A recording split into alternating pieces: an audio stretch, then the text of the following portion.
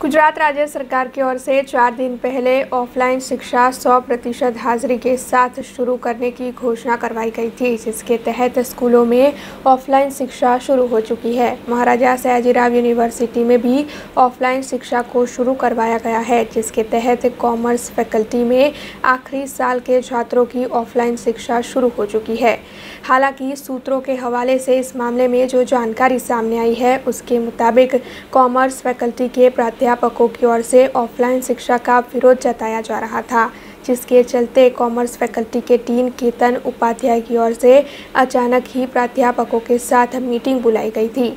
हालांकि मीटिंग के बाद शिक्षकों की ओर से ये बताया गया कि उनकी ओर से ऑफलाइन शिक्षा का विरोध नहीं किया जा रहा है बल्कि उनकी दो मांगे हैं कि कॉमर्स फैकल्टी में टेम्पररी शिक्षकों की भर्ती की जाए और इसके साथ ही बैच की संख्या भी बढ़ाई जाए ऐसे में इस पूरे मामले को लेकर कॉमर्स फैकल्टी के टीम केतन उपाध्याय और शिक्षकों ने ज़्यादा जानकारी दी है ના એવો એવો કોઈ વિરોધ નથી જી અ, આજે ઓફલાઈન શિક્ષણ શરૂ થાય એના માટે ગવર્મેન્ટ ઓફ ગુજરાતના જે આપણી પાસે માર્ગદર્શન આવ્યું એના સંદર્ભમાં અમે બધા શિક્ષકોને ભેગા કર્યા.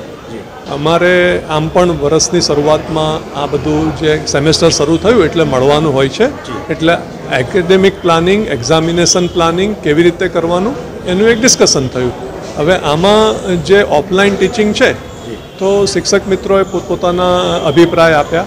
દાખલા તરીકે આપણે માઇક્રોસોફ્ટ ટીમમાં જે બસો વીસના ક્લાસ કર્યા છે તો એ બસો વીસના ક્લાસ જ્યારે ઓફલાઈન મેથડમાં આવશે ત્યારે આપણે એમને કેવી રીતે ડીલ કરીશું?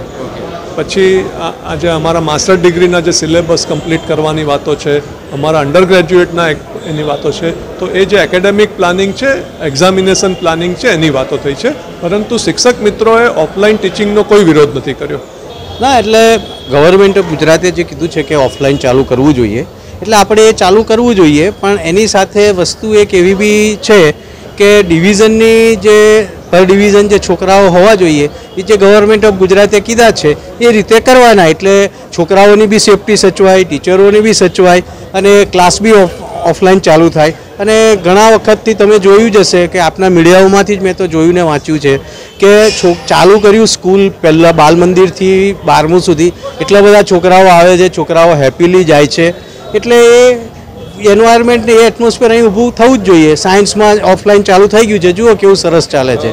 જો એના માટે સાહેબે એવું કીધું છે કે હું યુનિવર્સિટીની ઓથોરિટી જોડે વાત કરીને નવા ટીચરોની અપોઇન્ટમેન્ટનું વાત પૂછી લઉં છું અને ટેમ્પરરી ટીચિંગ આસિસ્ટન્ટ્સ કે એ બધા નવા લેવાય અને એ રીતે વિચારીએ છીએ. હજુ કોઈ ડિસિઝન લીધું નથી.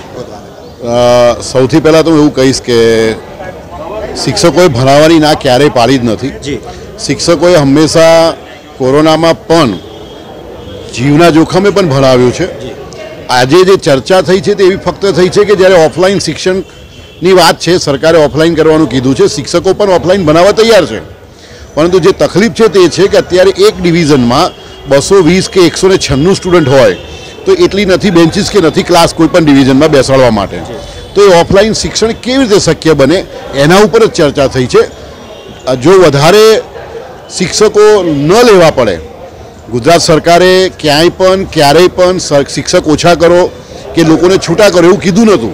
છતાં પણ યુનિવર્સિટી સત્તાવાળાએ કોમર્સ ફેકલ્ટીમાં બસો વીસ કે બસો પચાસ કે એકસો છન્નું એક ડિવિઝનમાં સ્ટુડન્ટ ભેગા એડમિશન આપ્યા, જેથી કરીને નંબર ઓફ ટીચર્સ ઘટ્યા. નંબર ઓફ ટીચર્સ ઘટાડ્યા એમાંથી સરકારે ના પાડી હતી છતાંય ઘટાડ્યા.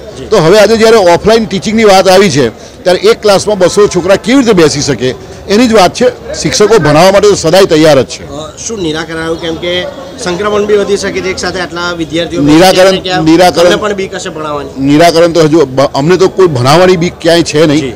પણ નિરાકરણ હજુ કંઈ આવ્યું નથી ચર્ચા કરીને ફેકલ્ટીમાં નક્કી થશે એવું ડીનશ્રીએ કીધું છે अब खबरों से लगातार अपडेट रहना हुआ आसान बीआरजी न्यूज आपके मोबाइल स्क्रीन पर आज ही बीआरजी न्यूज की mobile app Google Play Store और ऐप स्टोर से डाउनलोड करें और खबरों से लगातार जुड़े रहें